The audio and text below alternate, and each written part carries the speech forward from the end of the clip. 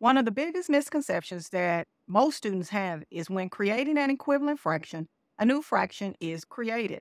For students in upper elementary and secondary, this misconception can be addressed by first using fraction wheels to show that even though the denominators are different, the amount shaded is still the same. Next, using the same fraction, create equivalent fractions by using the denominator to skip count and then use the numerator to count up by ones. The last step is to identify the scale factor that was used to create two equivalent fractions, such as 1 half is equal to 2 fourths, and 3 sixths is also equal to 1 half.